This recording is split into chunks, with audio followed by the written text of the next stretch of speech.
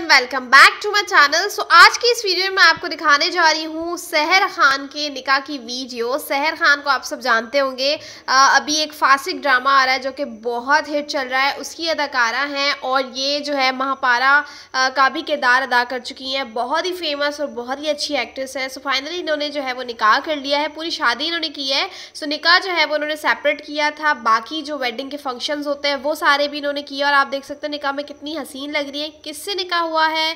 क्या वो इस इंडस्ट्री से ताल्लुक़ रखते हैं या फिर इनके फैमिली से हैं या कोई और है? वो भी मैं आपको बताती हूँ इसी वीडियो में। तो अगर आप लोग न्यू है तो प्लीज़ मेरे चैनल को सब्सक्राइब कर लीजिए बेलाइकन को प्रेस कीजिए। चलिए वीडियो को स्टार्ट करते हैं। मैं आपको बताना चाहती हूँ कि सहर खान जो है फासिक ड्रामे में आ रही हैं और बहुत फ़ेमस एक्ट्रेस हैं।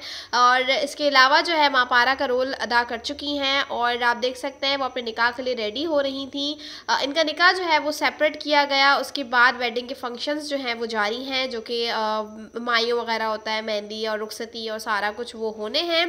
सो so, इनकी शादी जो है आप सब जानते होंगे इनके साथ ड्रामे में आते थे।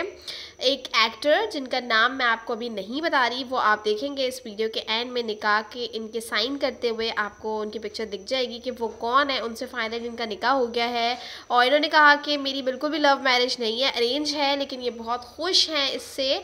और आप देख सकते हैं कि अपना शूट करवा रही है निकाह का। निकाह का जो इनका ड्रेस है, जो ज्वेलरी है, जो मेकअप है, सब कुछ बहुत परफेक्ट है और सब कुछ बहुत अच्छा भी लग रहा है। इन पर सूट कर है उन्होंने अपने निकाह के लिए बहुत ज़्यादा जो है अपना वेट भी लूज़ किया है।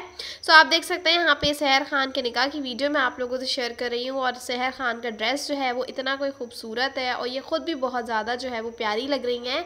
सो so, ये थी वीडियो आई होप कि आपको अच्छी लगी हो। मेरा चैनल ज़रूर सब्सक्राइब कीजिएगा बेलाइकन को प्रेस करें। अल्लाह हाफिज़।